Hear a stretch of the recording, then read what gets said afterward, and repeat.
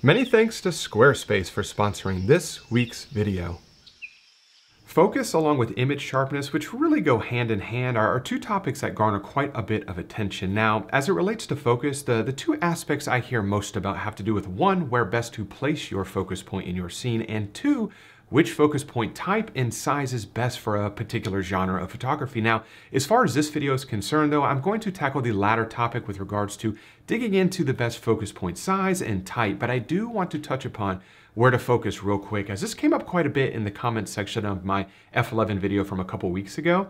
Now, if your ultimate goal is to try and get your entire scene in focus from front to back, Placing your focus point a third of the way into your scene is generally a great place to start, but of course this is all very dependent on the aperture you choose and having a hyperfocal distance calculator handy will, will certainly be the most accurate route to go. Now as far as where to place it, a common question I get is do you focus a third of the way into the scene that you see with your eyes or is it a third of the way into the scene that you see on the back of your camera, which is a great, uh, which is a great question because they're two completely different things. What you see with your eyes and what is actually on the back of your LCD. This is a great example of it. I always try and, I should say I start by focusing a third of the way in the scene. And I think that if you're in a vertical orientation here, using the, the rule of third grids is a great way to see where a roughly a third of the way into the scene is. But it is ultimately a third of the way into the scene on the back of your LCD and not necessarily what you perceive with your, or not how you see the scene with your eyes. So as you can see,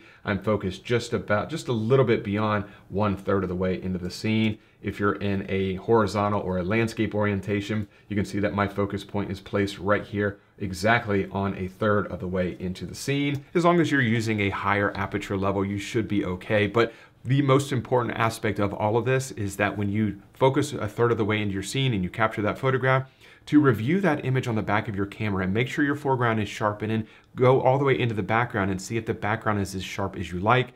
I generally like to have a little bit of natural fall off in the background because I think that one, that's how we see the, the, the world anyway. We don't see a, a focus stacked world where everything is sharp from the, the foreground to the background.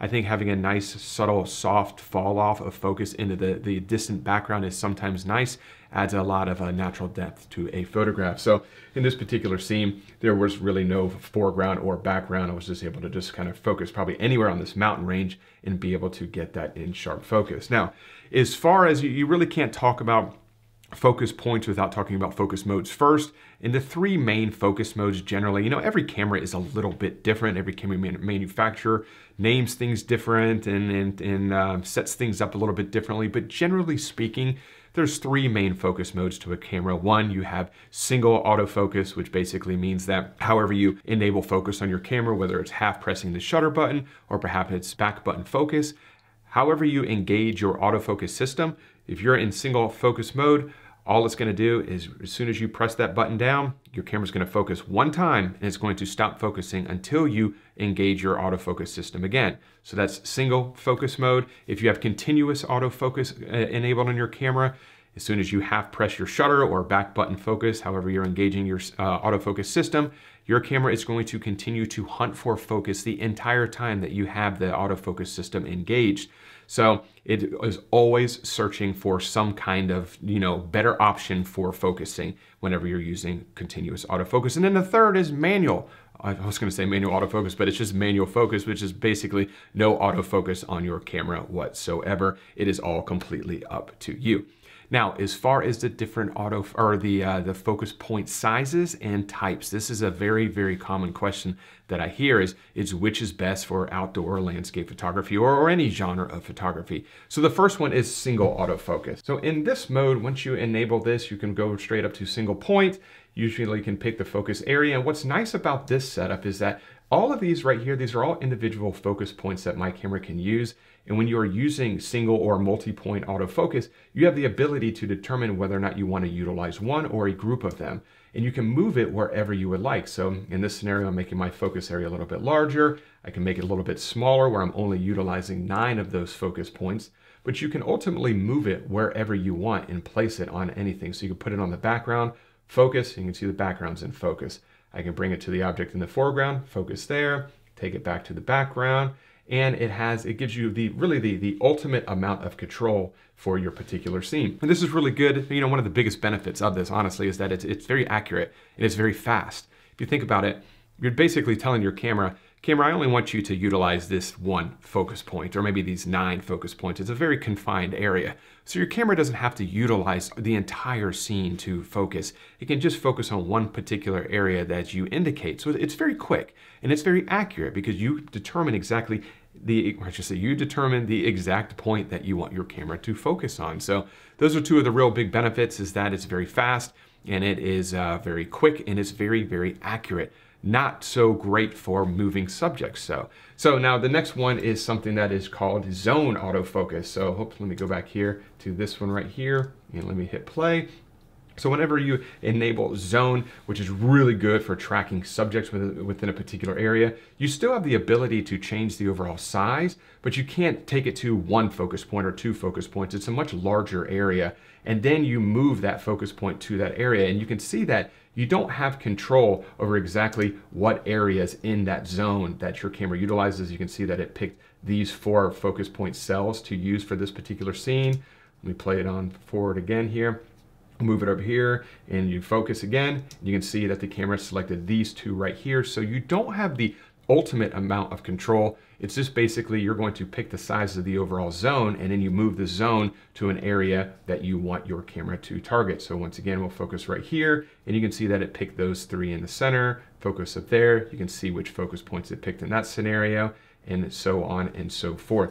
Now, this is a great solution for when you uh, when you know that there's going to be something moving in a particular area of your scene. It's, it's, it's good for tracking things. When you know exactly where that movement is going to occur, if you know that the movement is going to occur in the you know upper left-hand area of your photograph, you can make a, a uh, focus zone and move it to that area of your scene, and your camera can and, uh, continually focus in that particular area as long as you have continuous autofocus enabled in that particular setup.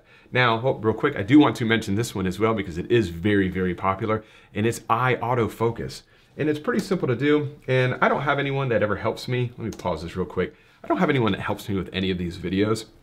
I am completely a one-man show and I don't have, uh, I didn't have another subject to do this with, so I basically had to record the back of my camera, which was recording my monitor, which was showing a past YouTube video in order to get a trackable eye. So that's why this uh, scene might, might seem a little bit odd. But when you enable eye autofocus, which you can see that I'm doing right now, you have the ability to do left eye, right eye, eye auto, which this which your camera will basically just determine exactly which eye is the best to focus on. And as you can see it is looking like it is locked onto my left eye in this scenario and it is staying with it almost the entire time. Sometimes it bounces to the right eye but I think you you get the point. Eye autofocus is uh, is very very straightforward but it's definitely one of the most popular autofocusing uh, I should say, options available today is eye autofocus. And as you can tell, it works very, very well. Now, the, the next one is something that's called a wide tracking. And wide tracking is fantastic for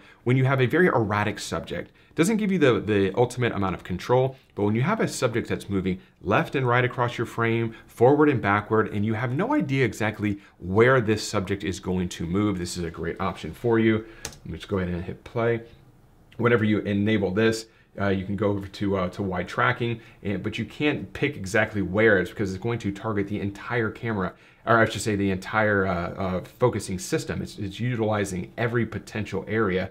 So you don't have the ultimate control as to where you are going to be able to focus. It's just going to be focusing everywhere throughout your overall photograph, which can be good in particular scenes, but it doesn't always give you the, the best, I should say, option for when you're photographing a static scenes. But it, it's fantastic for things like, you know, like birds in flight are absolutely fantastic. You can see that the autofocus point is hanging on every single movement of this bird, which is pretty incredible, honestly. But wide tracking is just absolutely fantastic for these types of uh, types of scenarios. But the, the ultimate question is, you know, what is best for, for landscape photography? And it really depends on exactly, you know, how you like to operate. What I use though is the single point autofocus. I think that that is, you know, the speed aspect of it, yes, it's going to be the more than likely the quickest autofocus solution for you. I don't really care about the speed. You know, landscape photography, one of the things I love most about it, it is a slower type of photography, which is very uh, enjoyable for me.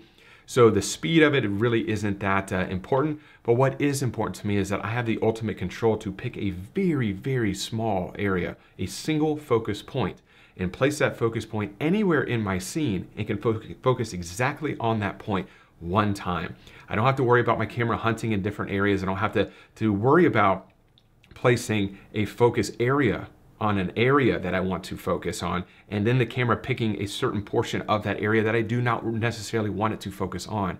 I like to have the ultimate control by using single point of focus. And the biggest benefit of this, in my opinion, is that you can use one focus area, you can use six focus areas, nine, ten. It's completely up to you because you determine the overall size. So I think that using the, the single point of focus when you are using, or when you're photographing a static subject like trees, mountains, rivers, although I guess rivers are moving, but you, you get what I'm saying. You're not photographing sports, you're not photographing wildlife or anything like that.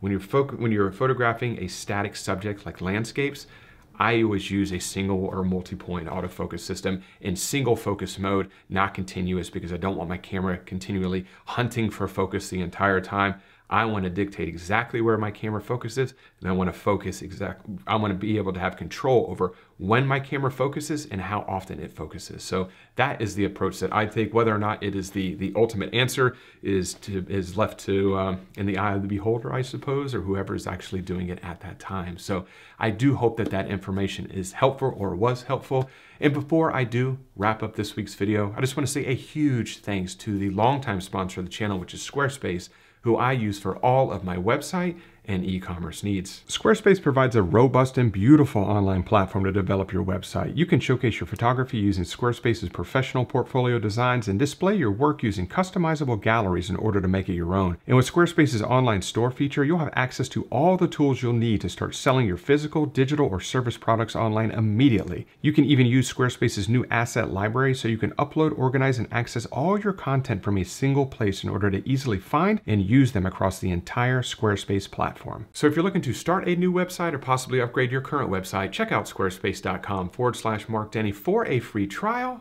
and 10% off your first purchase. So if you have any questions about uh, focus modes or the focus mode that I use, please leave those in the comment section below and I will do my best to get back in touch with you as soon as humanly possible. And as always, I really do appreciate you carving out a little bit of time to spend it with me here today. And if you did enjoy this week's video, I almost forgot.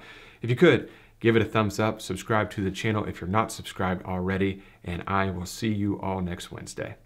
Bye.